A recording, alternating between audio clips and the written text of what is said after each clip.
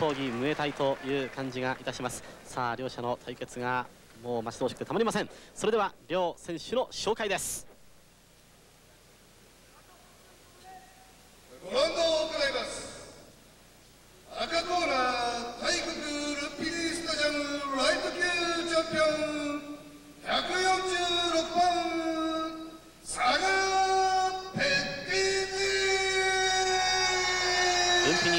チャンピオンサガット・ペッティンディ。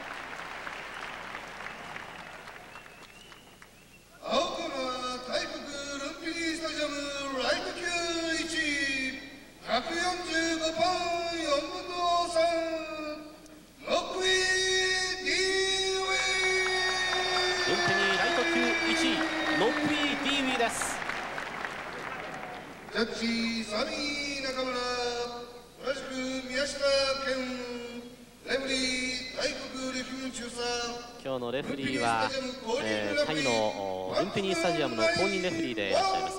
バントー・クンナリン・パンケオ。そしてジャッジはサミー中村宮下健。以上の3名でこの試合が裁かれます。さあサガット・ペッティンディ対ノックイ・ディーウィー。本当に楽しみでしょうがないですがさあこの試合大石さん、はい。どんな戦いになると予想されますか？そうですね、えー端的に言いますとですね、はい。サガットのパンチ、うん。そしてまた総合力でノックイ、うん。この対決になると思いますね。ああなるほど、はですからね、はい。早い機会にサガットのパンチが当たればええ。早い KO もあるしあるし、はい。それから長引けばですね、ええ。総合力でえーノックイではないかこういう噂がありますけどもそうでねすか。とにかくね、えー最高のおカードですからね、ええ。楽しみですね。本当に何かじっくり見たいというね、はい。そんな感じがします。ね。さあゴングが鳴りました。注目のムエタイ最強選手対決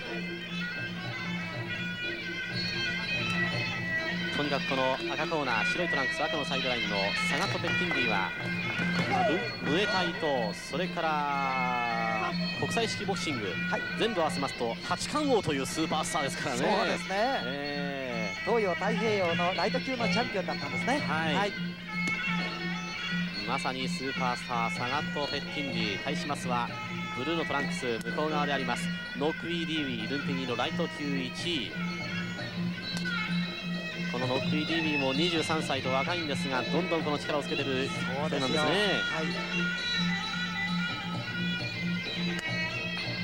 軽く左のローキック立ち上がりが非常に静か。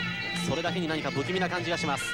このサガットとノックイー。さて藤原さんはこの対戦どういうふうにご覧になってますか？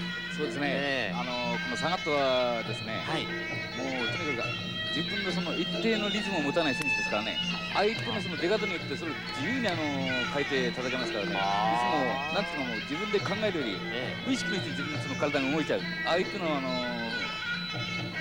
リズムにあって、え自分の攻撃が全部出るってことですから、もう怖いですよね、はっきり言ったら。もう本能だけでもう対処ができるというね。まさに本当の格闘技者ですねそれはね。自分であの練習の中においてはですね、はい。自分のその攻撃パターンで一切作らないんですよね。あそうなんですか。相手リングに上がった相手によって全部それが行動が全部あ自然と動く選手ですからね。ーそういう自在性を持った選手っていうのはやっぱり少ないんでしょう。最高ですね。ええ作ろうと思うとなかなかあのできる選手がないですからね。そうですね。またあの一方のノックイーですね、はい。これはもうミドルから、ええ。もう接近して掴んだらこの左にこれが一番怖いですからね、膝切りええもう離れてよし組んでよし、はい。オールラウンドプレーですから2人とも。はい。最高のあの試合内容になると思いますね。そうですか、さて大石さんこの試合のルールですが対式ルールですかねこれは。そうなんですね、はい。えーですからね全くね、ええータイで見るような感覚でご覧になっていただいて結構だと思います。はい。はい。一応まあ基本ルールとしてのあ頭突き投げそれからローブローはなしですが、はい。まあ、それから倒れてからの攻撃もなしですけどもね、ええーそれ以外はもう全部許されてるそうですね、えー。あの急所攻撃以外は何でも、えい。えーいいわけですね、えー肘打ちもよし、はい。それからまた、えー膝蹴りもよはい。しと、はい。こういうことになってますね。はい。はい。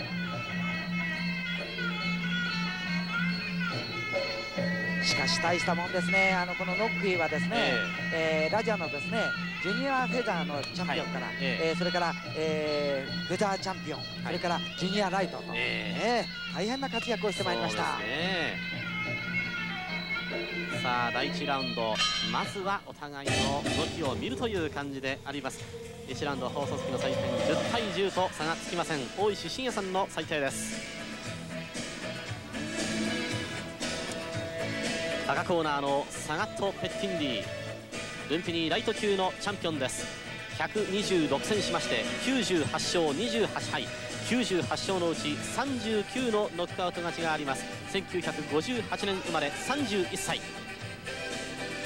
そして青コーナーのノクイ・ディウィルンピニーライト級の1位です。タイチポンの出身23歳。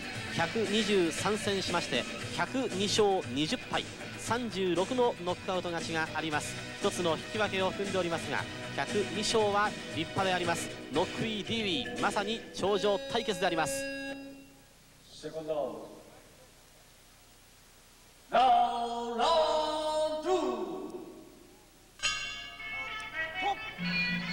さあ第2ラウンドのゴングが鳴りました。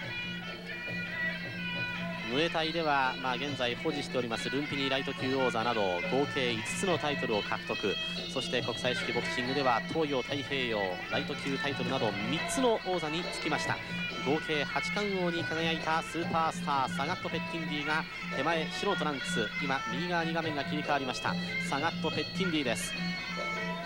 まあ、あの東洋太平洋王座についていた時代は無敵を誇りましてですね、はい、えー、世界王座ではえー、20歳の時にウィルフレド・ゴメス、はい、あの17連続ノックアウト防衛の,、はい、あのウィルフレド・ゴメスに挑戦したんですが残念ながら3回ノックアウト負けと、えー、まああのえー、国際式ボクシングでも頂上に手をかけたという、ね、そういうことですよ。えー、はいもう大変ね、はい、えー、やっぱり研究熱心ですしね、はい、それからつい最近、私、あのタイの方にね、ええ。ー、両選手、えー、見てまいりましたけどもね、はい、すごいですね、やっぱり。あそうですか、えーあの暑いタイのですね、ええー、生活なんですけどもね、もうとにかくそのジムに入りますとね、さらに一段と暑くなりましてね、もう本当にね参りましたけれどもね、えー、両者ともですね、はい、えー、大変な、えー、熱気の中で、うん、えー、猛烈なあの特訓を繰り広げてましたね。そうですか。はい。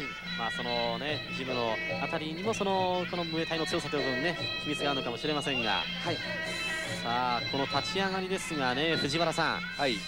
まだまだちょっと静かな立ち上がりですね。えーとお互いですね、えー、まずの建設の駆け引きのあれをやってる最中ですね。ああおっと。だからもう蹴りにとってもね、はい、もう無知みたいにしなって早いそうですね。あれま一般の大人が受けたらですね、ええ、しびれて腕が折れるような状態ですからね。最高にあの素晴らしいですね、うん、これはあの我々見てますとなんてことない顔して受けてますんでね。あの非常に軽いキックなのかなと思う。とんでもない。とんでもないです、えー、もうあの受けてる人間が強いから軽く見えるだけで。そういう感じですね。キック自体はものすごいスピード。今ちょうど放送席の目の前ですが何かあのキックの音が聞こえてくるような感じですよね。あ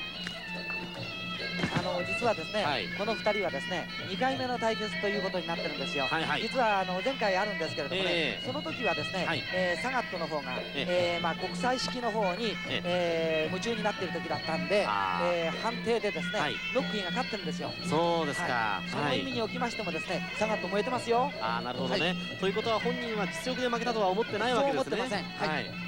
何としてもその雪辱を果たそうと、はい、そういう気持ちはもちろんあるでしょう、はいえ第2ラウンドも残り時間が徐々に少なくなってまいりました。なかなかまだ試合の動きがありません。画面左側が青いトランクスノクイ・ディウィそして手前白いトランクスがサガット・ペッキンディ。ルンピニーのライト級チャンピオンとライト級1位の対戦。第2ラウンド放送席の大石さんの採点は10対10と差がつきません。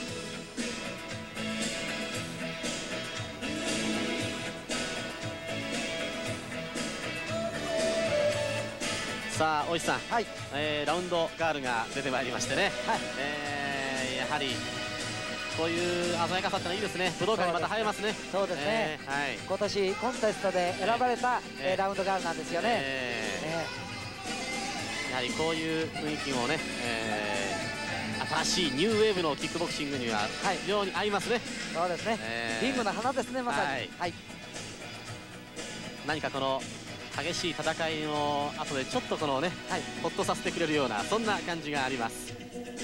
さあしかしすぐ戦いに引き戻される2人です。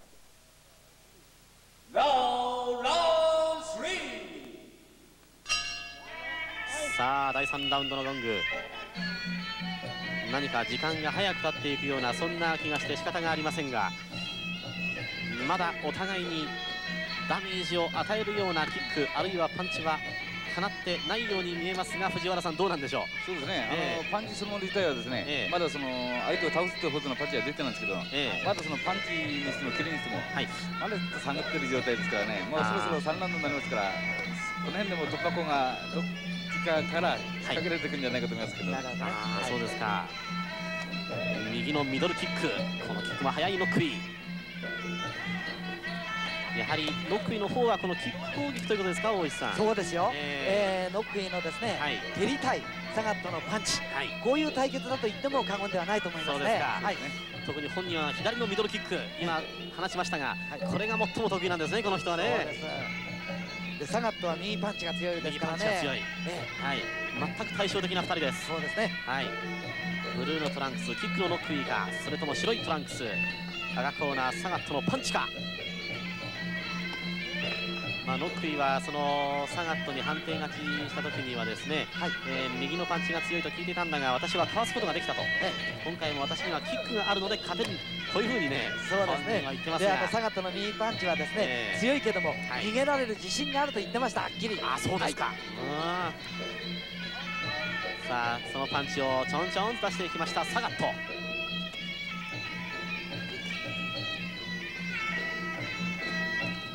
大観ですがこれはガードでがっちり固めています。やはり勝負はどうやら後半にもつれ込んできそうなそんな気配が漂い始めました。このまだ、ね、頂上対決。はい。今だパンチの方も単発ですからしっかりガードしてますけどね、えー、やっぱり5発6発もう続けていきますとね、えー、かなりはもうあも出てくるんですからね。確かに6位のあのガードが下がった時に下がったのパンチ。この破壊力がちょっと見てみたいですね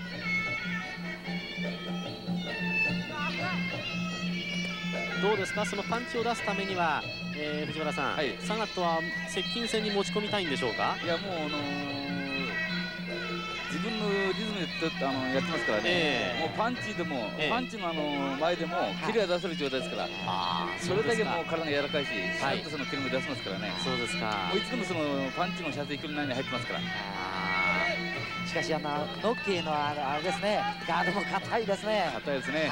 まあかなりあの注意してるんじゃないですかね。ああなるほどね。さあ今ちょっとロックあと。こういうふうにいつ試合が動き出すか分かりませんのでちょっと目が離せません。このムエタイ頂上対決3ラウンドも残り時間がほとんどなくなりました。ここでゴング。3ラウンドも放送席大石真也さんの採点は10対10と差がついておりませんラウンドも両者互角のまま10対104ラウンドまで全く差がつかないまま試合は最終回第5ラウンドを迎えています。さあグローブを合わせました。両者。いきなりミドルキックサガット左のミドル。ロックリーあちょっと表情変わってきましたよ。サガット膝蹴りを見せますノックリー左のミドル。これをかわした。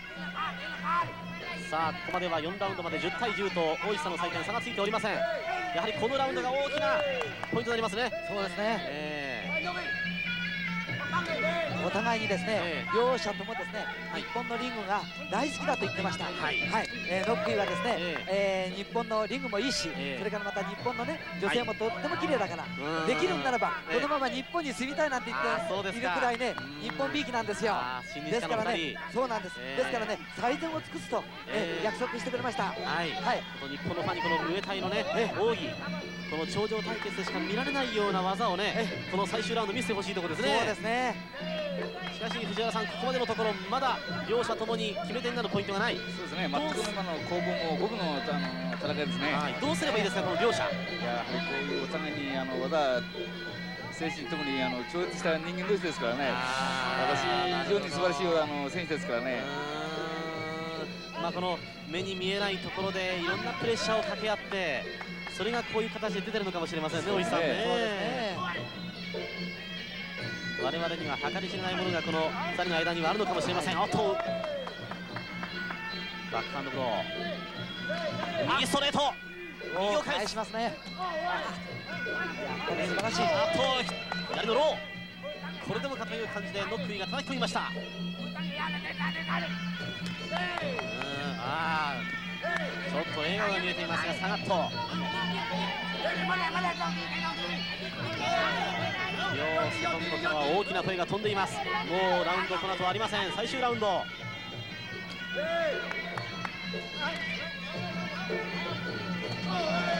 とちょっと突き飛ばされたような感じになりました。左から右です。やはりサガットはこのノクイの攻撃は藤原さん軽くかわしているように見えますけども。えー、やはりもう相当の神経を使ってますからね。そうなんでしょうね、これをかわしておいて自分の攻撃になんとかいきたいところですが今のパンチもノックイが完全にガードしてますもんね。何しませんね、えー、お互いによく本当に相手の動きが分かっているというそんな感じがしますね。そうですね。あ左のハイですがこれは右引っ掛けました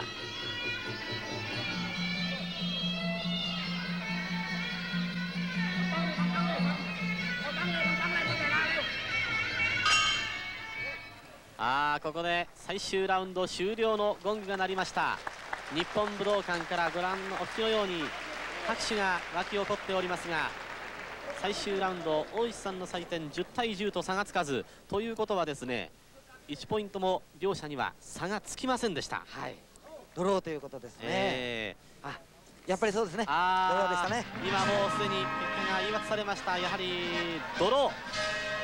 両者の差というところが出るまでには至らなかったというところですね。さあどうこれはあのどういうふうに考えますか？やはりお互い攻めにくかったのかやはり攻めさせなかったところが、まあ、両方あるんじゃないですかね。え。ー、攻めさせなかった。もう攻防においてもすべての理想な形の展開ですからね。えー、あその理想な形というところももう少し具体的に言っていただくと、ね。はい、あれやはり先輩として3月のですね、はい、ノックに対してねやはりこの自分が弟子に教えるような感じでその、はい、試合上の中においてもその展開でも、すべてをあとはお前に任すからしっかりやってくれってそういう感じの,、あの教え方の試合でしたね。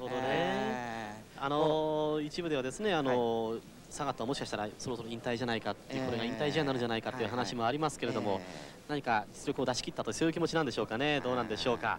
はい、えー、はい。今手元に採点表が届い。たんですが、えー、今日はタイのパントゥーさん、サミー中村さん、宮下健さんの3人によって、えー、この試合が裁かれたわけなんですがい。や大石さん、はい、全員50対50そうでしょうね、やはりえーはい、3者とも差をつけることはできませんでした、えー、えー、ムエタイ頂上対決サガット・ペッティンディ対ノクイ・ディービーはドローに終わっております